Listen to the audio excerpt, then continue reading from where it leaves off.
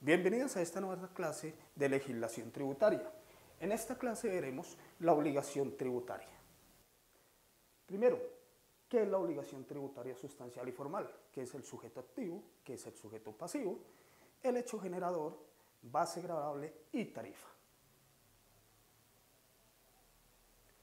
La obligación tributaria sustancial se origina al realizarse el presupuesto a los presuntos previstos de la ley.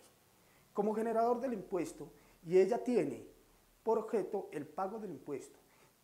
La obligación tributaria sustancial tiene unas características, las cuales son, se origina por el hecho generador del impuesto, nace de la ley y no de acuerdo entre voluntades, entre particulares, creando la ley un vínculo jurídico donde el sujeto activo exige al sujeto pasivo el pago de la obligación.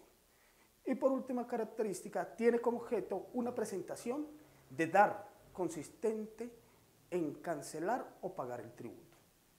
La obligación tributaria formal consiste en obligaciones instrumentales o deberes tributarios que tienen como objeto obligaciones de hacer o no hacer.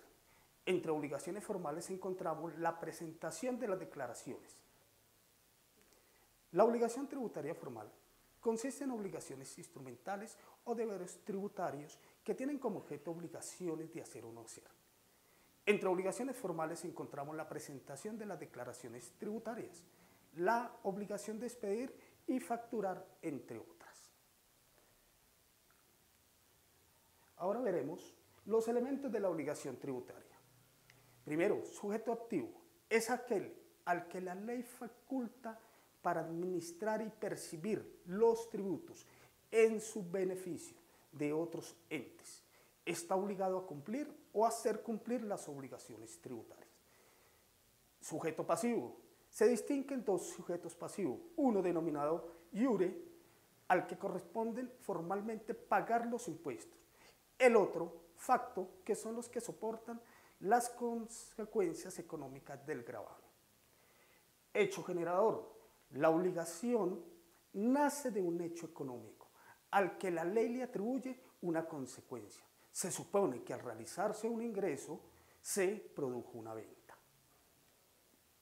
Base gravable es el valor monetario o unidad de medida sobre la cual se le aplica la tarifa del impuesto para establecer el valor de la obligación. Y por último, la tarifa es la magnitud que se le aplica a la base gravable sirve para determinar la cuantía del tributo. Gracias.